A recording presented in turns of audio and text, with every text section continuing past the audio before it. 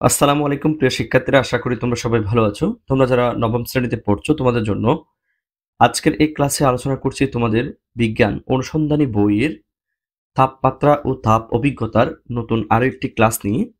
শিক্ষার্থীরা, গত ক্লাসে আমরা ক্যালোরিমিতির এই অংশটুকু একটু জেনেছিলাম এবং আমরা এখানে আপেক্ষিক তাপ এবং তাপ ধারণ ক্ষমতা সম্পর্কেও আমাদের একটি আইডিয়া হয়েছে। তারপর আজকেও আমরা সেটা নিয়ে আরও একটু আলোচনা করব এবং এখানে কিছু ম্যাথ রয়েছে। তারপরে ক্যালোরিমিতির মূলনীতি দেন ওইখানকার কিছু ম্যাথ নিয়ে আমরা মূলত আজকের এই ম্যাথমেটিক্যাল সলিউশনের ক্লাসটি মূলত আজকে আলোচনা করব। তোমাদেরকে অনুরোধ করছি, তোমরা যারা এখনও পর্যন্ত আমাদের পূর্বের ক্লাসগুলো করো নাই, তারা অবশ্যই আমাদের আরফাত একাডেমি ইউটিউব চ্যানেলে গিয়ে সকল ক্লাসগুলো পেয়ে যাবে, অথবা তোমরা চাইলে ডেসক্রিপশন বক্স থেকেও লিঙ্কগুলো পেয়ে যাবে। সেখানে পেজ অনুসারে তোমরা ক্লাসগুলো করে নিবে। এখানে তোমাদের গণিতের ক্ষেত্রে আমরা সূচক ও লগারিদমের যে অভিজ্ঞতাটি সেটা নিয়ে আলোচনা করছি এই মুহূর্তে। আর তাছাড়া বিজ্ঞানের অনুশীলন বইয়ের খেলার মাঠে বিজ্ঞান এই অভিজ্ঞতা নিয়েও আলোচনা চলছে। সুতরাং অবশ্যই তোমরা ক্লাসগুলো করে কমেন্ট সেকশনে জানাবা, ক্লাসগুলো তোমাদের কেমন লেগেছে এবং বাংলাদেশের কোন জায়গা থেকে তোমরা ক্লাসগুলো করছ, ভিডিওগুলো শেয়ার করছ কিনা দেন তোমাদের স্কুলে মূল্যায়নগুলো কীভাবে হচ্ছে সেটা একটু আমাদেরকে জানিয়ে দিও। শিক্ষার্থীরা, আমরা এখানে দেখতে পাচ্ছি আমাদের একটু ফার্স্ট যে উদাহরণটি রয়েছে সেটি হচ্ছে কাচের আপেক্ষিক তাপ eight forty joule per kg per kelvin হলে তিন কেজি কাচের তাপমাত্রা থার্টি কেলভিন বৃদ্ধি করতে কি পরিমাণ তাপ প্রয়োজন? আমরা গত ক্লাসে যে তাপ ধারণ ক্ষমতা ছিল, এই জিনিসটা কি আমরা পড়েছিলাম সেখানে ছিল কোনো বস্তুর তাপমাত্রা এক একক বাড়াতে যে পরিমাণ তাপের প্রয়োজন, তাকেই বলা হয় মূলত তাপ ধারণ ক্ষমতা এবং এটাকে সি দিয়ে প্রকাশ করা হয়। আবার আমরা যখন আপেক্ষিক তাপ পড়েছিলাম, সেখানে বলেছিলাম, জাস্ট এক কেজি বরের কোনো বস্তুর তাপমাত্রা এক কেলভিন বাড়াতে যে পরিমাণ তাপের প্রয়োজন। তাহলে এই দুটার মধ্যে পার্থক্য কোন জায়গায় সেটা একটু দেখো। এখানে কোনো বস্তুর তাপমাত্রা এক একক বাড়াতে যে পরিমাণ তাপের প্রয়োজন আর আপেক্ষিক তাপের মধ্যে এক কেজি বরের কোনো বস্তুর তাপমাত্রা এক কেলভিন বাড়াতে যে পরিমাণ তাপের প্রয়োজন। অর্থাৎ এখানে কিন্তু ফিক্সড করে বলে দিয়েছে, পদার্থের বরটা হবে এক কেজি এবং টেম্পারেচার বাড়াতে হবে ওয়ান কেলভিন আর তাপ ধারণ ক্ষমতাতে এক একক বাড়াতে বলেছে বাট ফিক্সড করে কিন্তু বলে নাই। এবং কোনো বস্তুর এখানে এক কেজি বা দুই কেজি বা তিন কেজি, সে সম্পর্কে কোনো ব্যাখ্যা এখানে দেয় নাই। তাহলে এই যে আপেক্ষিক তাপ, এটাকে প্রকাশ করা হয় স্যার এস দিয়ে, এবং এই যে সি এর যে একটা সূত্র, তাপ ধারণ ক্ষমতা C equals to Q by তাপমাত্রার পরিবর্তন, অর্থাৎ তুমি চাইলে এটাকে ডেল টি অথবা এটাকে তুমি T two minus T one দিতে পারো। একই রকম ভাবে আমরা যদি এর পরেরটা একটু দেখি, এখানে দেখো আপেক্ষিক তাপ S equal to Q by M del theta অর্থাৎ এটাকে তুমি চাইলে Q divided by M del T অথবা এটাকে তুমি চাইলে আরেকটু ভেঙে Q divided by M del T মানে হচ্ছে T two minus T one এভাবে তুমি এক্সপ্লেন করতে পারো। এটা হচ্ছে তাদের মেইন সূত্র। এটা নিয়ে আজকে আমাদের প্রচুর ম্যাথ রয়েছে। এবং আমরা যদি এই যে আপেক্ষিক তাপ আর তাপ ধারণ ক্ষমতার মধ্যে একটা সম্পর্ক চাই, তাহলে আমরা পাচ্ছি S equal to C by M যেটা গত ক্লাসে আমি আলোচনা করেছি। অথবা এটাকে যদি চাই, আমি আর গুণন করলে, তাহলে C equals to M S এটা হচ্ছে আমাদের আসল সূত্র। তাহলে আমরা, চলো আমাদের কাজ যাচ্ছি, আমরা আমাদের মেইন ম্যাথগুলো শুরু করি। এখানে আপেক্ষিক তাপ যেহেতু one eight forty joule per kg per kelvin তাহলে এটা হচ্ছে এস এর মান। তোমরা একক থেকেও বলতে পারবা কোনটা আপেক্ষিক তাপ নাকি কোনটা ধাপ ধারণ ক্ষমতা। আপেক্ষিক তাপের একক হচ্ছে joule per kg per kelvin, গত ক্লাস আলোচনা করা হয়েছে এটা নিয়ে। আর তাপ ধারণ ক্ষমতা হচ্ছে only joule per kelvin, joule per kelvin বলে তাপ ধারণ ক্ষমতা। এরপর এখানে আমি তিন কেজি বাড়াবো so it should be mass বা ভর। আর এখানে তাপমাত্রা কিন্তু বৃদ্ধি কথা বলে দিয়েছে সো এটা হবে ডেল টি অথবা ডেল থিটা, যার অর্থ হচ্ছে T two minus T one এখন আমাকে বের করতে হবে কি পরিমাণ তাপের প্রয়োজন, যেটাকে আমি কিউ দিয়ে প্রকাশ করব। তাহলে এই ম্যাথটা আমরা করব। আমাদের হাতে যে যে ডাটাগুলো রয়েছে, আমরা সেই ডাটাগুলো ফিল আপ করে দিচ্ছি। ফার্স্ট অফ অল স্যার এখানে এস এর মান রয়েছে এইট ফোরটি ঝোল পার কেজি পার কেলভিন এরপরে আমাদের হাতে রয়েছে এম এর মান M equals to three kg then আমাদের হাতে আর কি রয়েছে? তাপমাত্রা বৃদ্ধি, যেটাকে আমরা ডেল টি অথবা T two minus T one বলতে পারি এবং এক্স্যাক্টলি এটা কেলভিন স্কলে দেওয়া আছে থার্টি কেলভিন আমাদের তাপের পরিমাণ বের করতে হবে so Q equals to what এটা আমরা বের করব। এবং এগুলো তুমি একটু কষ্ট করে এখানে লিখে নিবা। এস মানে হচ্ছে স্যার আপেক্ষিক তাপ। তো আমি এখানে আ তাপ দিলাম মানে আপেক্ষিক তাপ। এম মানে হচ্ছে বর টি মানে হচ্ছে তাপমাত্রা বৃদ্ধি বা তাপমাত্রার পরিবর্তন। আমি এখানে পরি দিলাম, এটা মূলত পরিবর্তন। এরপরে এটা হচ্ছে প্রয়োজনীয় তাপ কিউ মানে হচ্ছে প্রয়োজনীয় তাপ এই জিনিসগুলো একটু কষ্ট করে দিয়ে নিবা, কারণ এগুলো প্রয়োজন আছে। এবং আশা করছি এই যে, এবার আমাদের যে সূত্রটা, সেটা আমরা একটু আগে পড়েছিলাম, তা আমরা জানি বলে লিখলাম। আমরা জানি Q equals to M S del theta অথবা ডেলথিটা যার মিনিং হচ্ছে M S T two minus T one তোমরা যেটা ভালো মনে করো সেটা লিখিও। এরপর আমি এম এর মান বসাই দিচ্ছি থ্রি কেজি এস এর মান eight four zero then T two minus T ওয়ানের ভ্যালু হচ্ছে থার্টি এই সবগুলো যদি আমি গুণ করি, তাহলে অবশ্যই আমাদের আনসারটা seven one two eight zero joule আসবে, এটাই স্বাভাবিক। আমি আনসারটা আবার দেখছি seven one two eight zero seven one two eight zero joule আসবেই আসবে। তাহলে এইভাবে তোমরা ম্যাথগুলো সলভ করবা। তোমাদেরকে বলে রাখছি শিক্ষার্থী আমাদের একটি অনলাইন ফেড কোর্স চলমান রয়েছে, যেখানে আমরা গণিত এবং বিজ্ঞানটা পড়াই। এই বিষয়ে বিস্তারিত জানার জন্য তোমরা অবশ্যই এই হোয়াটসঅ্যাপ নাম্বারে যোগাযোগ করতে পারো, অথবা তোমরা চাইলে আমাদের আরফাত একাডেমির ফেসবুক পেজ এবং আরফাত একাডেমির ফেসবুক গ্রুপ থেকেও বিজ্ঞপ্তিটা জেনে নিতে পারো। আশা করছি আমরা তোমাদের বেস্ট একটি সার্ভিস প্রোভাইড করতে পারব। এরপর আমাদের আরেকটি উদাহরণ রয়েছে যেখানে একটু দেখো, এবার আমরা এগুলো শর্ট করব। এখানে thirty kelvin sorry three hundred kelvin তাপমাত্রায় টাকার দুই কেজি পানিকে চুলার উপরে রাখাই এর তাপমাত্রা থ্রি ওয়ান জিরো কেলভিন হলো। চুলা থেকে চৌরাশি হাজার জোল তাপ পাওয়া গেলে পানির আপেক্ষিক তাপ কত হবে? তাহলে এখন আমরা এর মানগুলো একটু আইডেন্টিফাই করার চেষ্টা করব। স্যার, এটা হচ্ছে থ্রি হান্ড্রেড কেলভিন এটা হচ্ছে স্যার প্রাথমিক তাপমাত্রা, আর থ্রি ওয়ান জিরো কেলভিন এটা হচ্ছে স্যার সেকেন্ডারি বা শেষ তাপমাত্রা। এরপর এই যে দুই কেজি, এটা অবশ্যই বর এরপর এখানে তাপের পরিমাণ দেওয়া আছে, এটা অবশ্যই কিউ তোমাকে আপেক্ষিক তাপ বের করতে বলেছে সু এটা হচ্ছে এস তাহলে যে মানগুলো দেওয়া আছে, এখন আমি একটা একটা লিখছি। তো প্রাথমিক তাপমাত্রা, এটা হচ্ছে টি ওয়ান সরাসরি থ্রি হান্ড্রেড কেলভিন এরপর শেষ তাপমাত্রা, এটা হচ্ছে three one zero kelvin so তুমি ডিরেক্টলি ডেল টি এর মানটা বের করতে পারো, যেটা হচ্ছে T two minus T one আমি যদি বের করি, তাহলে থ্রি ওয়ান জিরো থেকে থ্রি ডাবল জিরো বিয়োগ গেলে অনলি টেল টেন কেলভিন আমি এখানে এই জিনিসগুলো লিখে নাই, তোমরা একটু কষ্ট করে এগুলো একটু লিখে দিও, কারণ এগুলো প্রয়োজন আছে। ঠিক আছে? এরপরে আমি যাচ্ছি, আমাদের হাতে আর যে মান রয়েছে এম এর মান রয়েছে টু কেজি তাহলে বর M equals to two kg এগুলো তুমি একটু কষ্ট করে লিখে নিবি ভিডিও লেন্থ বড় হয়ে যাবে, তাই আমি এগুলো দিচ্ছি না। এবং এখানে তাপের পরিমাণ Q equals to eight four triple zero joule দেওয়া আছে।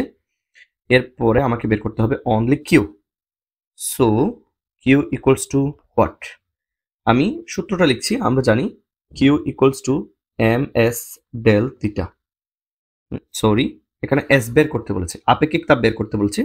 এই যে আপেক্ষিক তাপ বের করতে বলছে, আমি কিউ কেন দিলাম? তাহলে এই জিনিসটা হচ্ছে এস বের করতে হবে। সো এটা এস এবার আসো, আমি যদি এই জিনিসটাকে উল্টো লিখি এম এস এই যে এখানে আবার তিটা দিয়ে ফেলেছি, কারণ তিটা দিতে বেশি অভ্যস্ত বাট তোমাদের বইতে টি আছে বলে আমি টি দিয়ে করাচ্ছি, দিলাম। এখন আমি যদি স্যার এস এর ভ্যালু বের করি, তাহলে অবশ্যই কিউকে এম ডেল টি দিয়ে ভাগ করতে হবে। এখানে কিউ এর ভ্যালু আমি এইট ফোর ট্রিপল জিরো বসালাম। এম এর ভ্যালু হচ্ছে টু এবং এই যে ডেল টি এটার ভ্যালু আমরা পেয়েছিলাম টেন কেলভিন আমি ডিরেক্টলি এখানে টেন বসে দিলাম। দেন এই অংশটা যদি আমরা সলভ করি, অবশ্যই আমাদের এই যে আনসারটা four two double zero joule per kg per kelvin হবে। Four two double zero joule per kg per kelvin যেটা হচ্ছে পানির আপেক্ষিক তাপ। এবং এটা নিয়ে আমি তোমাদেরকে বলেছিলাম যে কয়েকটা আপেক্ষিক তাপ তোমাদের একটু কষ্ট করে মনে রাখতে হবে। যেমন আমরা যদি আরেকটু নিচে আসি, এই যে দেখো, এই জিনিসটা একটু কষ্ট করে মনে রাখিও, যেমন পানিরটা ফোর টু ডাবল জিরো বরফেরটা হচ্ছে টু ওয়ান আর জলীয় বাষ্পেরটা দরকার নাই, তবে হ্যাঁ তামারটা ফোর হান্ড্রেড কয়েকটা মনে রাখার চেষ্টা করবা, কারণ এগুলো খুবই প্রয়োজনীয়।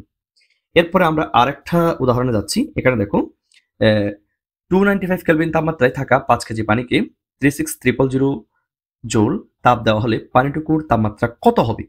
দ্যাটস এ গুড পয়েন্ট আমরা এখানে দেখতে পাচ্ছি, এখানে এটা হচ্ছে প্রাথমিক তাপমাত্রা so it should be T one এবং তোমাকে তাপমাত্রা আরেকটা বের করতে বলেছে, তাহলে it should be T two এবং এই তাপমাত্রাটা বের করতে হবে। আর এটা হচ্ছে পাঁচ কেজি, সো এটা ম্যাস এবং এটা হচ্ছে, স্যার, তোমার তাপের পরিমাণ, সো এটা হচ্ছে কিউ এইবার একটা গুরুত্বপূর্ণ বিষয়, এখানে তোমাকে কিন্তু পানির যে আপেক্ষিক তাপ, এই আপেক্ষিক তাপ কিন্তু দেই নাই। তাহলে তোমাকে এই যে পানির আপেক্ষিক তাপ ফোর টু ডাবল জিরো এটা ধরে নিতে হবে। যেহেতু এটা পানির কথা বলেছে, তাহলে এই পানির ক্ষেত্রে এই এস এর মানটা অবশ্য অবশ্যই four two double zero joule per kg per kelvin এটা অবশ্যই মাথায় রাখতে হবে। সেজন্য আমি তোমাদেরকে একটু আগে বলেছিলাম, ওই জিনিসটা একটু মনে রাখিও। তো এক্ষেত্রে আমি যদি সূত্রটা লিখি বা সূত্রটা যদি বসাই, তাহলে তোমরা একটু দেখো, আমি সূত্রটা দিচ্ছি Q equals to M S del T তা আমি উল্টো লিখছি sorry M S del T equals to Q then আমি যদি এটাকে এক্সপ্লেন করি, এটা হবে T two minus T one okay আচ্ছা একটা কাজ করি, আমি এখানে ডেল টি এর পরিমাণটা বের করি। ফার্স্ট অফ অল পরে আমি ইয়েটা বের করব। আমি যদি ডেল টি এর পরিমাণটা বের করি, তাহলে অবশ্যই Q divided by M S হবে। এরপর আমি আগে হিসেব করে পেলি ডেল টি মানে হচ্ছে T two minus T one Q divided by M S এরপরে আমি যদি এই টি টুকে যদি পক্ষান্তর করি, তাহলে মাইনাস সাইনটা পজিটিভ হয়ে যাবে। তাহলে Q divided by M S plus T one হবে। এবার তুমি বাম পাশে মান বসাও। কিউর মান আশা করি six three three four zero joule not sure yes এরপর হচ্ছে তোমার এম এর মান হচ্ছে ফাইভ কেজি ভর এস এর মান টিটিএম টিটিএম মান হচ্ছে টানা টানা মুখস্থ joule per kg per kelvin এখানে টি টি এম টিটিএম মান হচ্ছে টানা টানা মুখস্থ রাখতে হবে। আর এখানে টি ওয়ান অলরেডি টেম্পারেচার দেওয়াই আছে maybe two ninety five two ninety sorry two ninety five kelvin তোমাকে বের করতে হবে so T two equals to what তো তুমি এখানে কিউ এর ভ্যালু বের বসাই দাও six three three four zero এরপরে এম এর ভ্যালু হচ্ছে ফাইভ গুণ এস এর ভ্যালু হচ্ছে ফোর টু ডাবল জিরো এরপর হচ্ছে টি ওয়ানের ভ্যালু হচ্ছে টু নাইনটি ফাইভ এখন এই অংশটা ক্যালকুলেশন করার পর তুমি যদি এটা যোগ করো অবশ্য অবশ্যই তোমাদের বইতে যে আনসারটা আসছে এই যে দেখো এটা ক্যালকুলেশন করার পরে সম্পূর্ণ ক্যালকুলেশন করার পর আমি যদি এই টু নাইনটি যোগ করি অবশ্য টু নাইনটি এইট কেলভিন আসবে এটা অবশ্যই তোমরা একটু দেখে নিবা হান্ড্রেড পার্সেন্ট আসার কথা। তাহলে গেল এরপরে আমরা দেখতে পাচ্ছি এখানে এই যে আপেক্ষিক আহ, তাপ ধারণ ক্ষমতার সম্পর্কে একটু কথা বলা হয়েছে বস্তুর তাপ ধারণ ক্ষমতা চি বলতে বোঝানো হয়েছে সেই বস্তুটির তাপমাত্রা এক কেলভিন বাড়াতে কত তাপের প্রয়োজন? জাস্ট এখানে কিন্তু ভরের পরিমাণটা দিই নাই জাস্ট এক কেলভিন বাড়াতে। অর্থাৎ আমরা এই দুটার মধ্যে কম্পেয়ার পেয়েছি পেয়েছিলাম। জাস্ট এখানে এক এক বাড়াতে বলেছিল সরি এখানে এক কেজি ভরের কথাটা উল্লেখ ছিল বাট এখানে ভরের কথাটা উল্লেখ ছিল না। ডেটস ইট এছাড়া আর কোনো কিছু নয় এরপর দেখো, বস্তুটির ভর এবং আপেক্ষিক তাপ জানা থাকলে খুব সহজেই যে কোনো বস্তুর তাপ ধারণ ক্ষমতা সি বের করা যায়। কারণ বস্তুর ভর যদি এম হয়, আপেক্ষিক তাপ যদি এস হয় তাহলে সেক্ষেত্রে তাপ ধারণ ক্ষমতা এই যেটা, অথবা S equal to C sorry সূত্র হচ্ছে আমরা পেয়েছিলাম, আমরা যেটা পেয়েছিলাম সি ডিভাইডেড বাই এম এটাকে আমি আট গুণন করলে C equal to M S কিন্তু আসল সূত্র হচ্ছে এই যে এটা কই?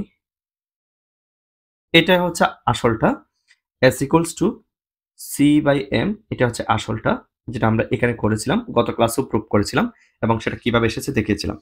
ভিডিওর লিঙ্ক অবশ্যই ডেসক্রিপশন বক্সে তোমরা পেয়ে যাবে। এরপর এখানে একটু লক্ষ্য করো, আমরা এই ম্যাথটা এখন সলভ করব। তার আগে তোমাদেরকে বলে রাখছি, শিক্ষার্থীরা, আজকের এই ক্লাসের সমস্ত নোটস কিন্তু তোমরা এই আলফাত একাডেমির ফেসবুক গ্রুপটিতে সাবমিট করবা। এখানে যদি একটু নিচে আসো, তোমরা দেখতে পাবা, এখানে অসংখ্য স্টুডেন্টস তাদের নোটগুলো সাবমিট করে, এবং তোমরা চাইলে সেই নোটসগুলো ইউজ করতে পারো, অথবা তোমরা চাইলে নিজেদের মতামত মতামতের ভিত্তিতে নোটসগুলো শেয়ার করতে পারো। আরেকটা বিষয় সেটা হচ্ছে, যদি ফেসবুক পেজ থেকে আমাদের ক্লাসগুলো করে থাকো অবশ্যই ফেসবুক পেজে লাইক এবং ফলো দিয়ে আমাদের সাথে যুক্ত থাকবে এবং ভিডিওগুলো বন্ধুদের সাথে শেয়ার করে দিবা। নিজেদের টাইমলাইনে শেয়ার করে দিবা, বন্ধুদেরকে মেনশন করবা। আর অবশ্যই আমাদের কমিউনিটি বাড়ানোর দায়িত্ব তোমাদের। সো আমরা সবাই একসাথে মিলে একটা বড় কমিউনিটি তৈরি করব বলে বিশ্বাস। এবার দেখো, দশ কেজি লোহার তুলনায় দশ কেজি পানির তাপ ধারণ ক্ষমতা কত বেশি?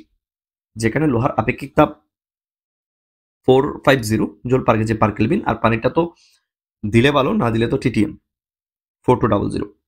এখন এটা হচ্ছে লোহার বর দশ কেজি এবং পানির বর সেটাও দশ কেজি। তবে আপেক্ষিক তাপ, আপেক্ষিক তাপকে এস দিয়ে প্রকাশ করা হয়। এই আপেক্ষিক তাপটা এক এক জায়গায় এক এক রকম। লোহার ক্ষেত্রে হচ্ছে চারশো পঞ্চাশ আর পানির ক্ষেত্রে হচ্ছে ফোর টু ডাবল জিরো। তাহলে আমরা এটা ইজিলি বের করতে পারি।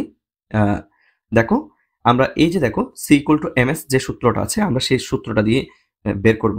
তো ফার্স্ট অফ অল মনে করো লোহার তাপ ধারণ ক্ষমতা বের করছি। লোহার তাপ ধারণ ক্ষমতা। সি ইকুয়াল টু মনে করো এটাকে সি ওয়ান দিলাম। এরপর আরেকটা আছে পানির, কে কতটুকু তাপ ধারণ করতে পারে? আচ্ছা এটা ক্ষমতা হয়নি, এটা এটা ভুল হয়েছে। আমি আবার একটু লিখছি। তাহলে এটা হয়ে গেল কমতা আবার এটাকে দিলাম মনে করো সি টু। তাহলে অবভিয়াসলি মনে করো এটা এম এস হয় বাট আমি এটাকে এম ওয়ান, এস ওয়ান দিতে চাইছি যাতে দুটা আলাদা আইডেন্টিফাই করতে পারি। এরপরে এটাকে এম এস হয় বাট আমি এটাকে এম টু, এস টু দিতে চাইছি। এবার লোহার বর দশ কেজি, পানিরটাও দশ কেজি। তবে লোহার যে আপেক্ষিক তাপ, সেটা হচ্ছে ফোর ফাইভ জিরো দিলাম। পানিরটা হচ্ছে four two double zero that seat এছাড়া আর কোনো কিছু নয়। এবার আমরা কি করব? এই দুইটা মানকে যদি গুণ করি, তাহলে অবশ্যই সে মানটা হবে ফোর ফাইভ ডাবল জিরো আর এই দুইটাকে যদি গুণ করি, তাহলে হবে ফোর টু ট্রিপল জিরো এখন এককটা কি হবে? সেটা নিয়ে আমি তোমাদেরকে বলেছিলাম যে তাপ ধারণ ক্ষমতার একক থেকেও তুমি তাপ ধারণ ক্ষমতা চিনতে পারবা। অনলি জোল পার কেলভিন তাহলে আমি এখানে দিয়ে দিলাম জোল পার কেলভিন জোল পার কেলভিন এবার আমরা একটু সিদ্ধান্ত উপনীত হতে পারি যে এখানে কার দা তাপ ধারণ ক্ষমতা বেশি। তা আমরা এখানে দেখতে পাচ্ছি লোহারটা হচ্ছে only four five double zero but পানিরটা হচ্ছে ফোর টু ত্রিপল জিরো অর্থাৎ এটা হচ্ছে বিয়াল্লিশ হাজার, এটা হচ্ছে সাড়ে চার হাজার আর এটা হচ্ছে বিয়াল্লিশ বিয়াল্লিশ হাজার। তাহলে দেখো, কাজে আমরা দেখতে পাচ্ছি পানির দাব ধারণ ক্ষমতা লোহার তুলনায় প্রায় দশ গুণ, প্রায় দশ গুণ বেশি। তাহলে আশা করি বুঝতে পারছ।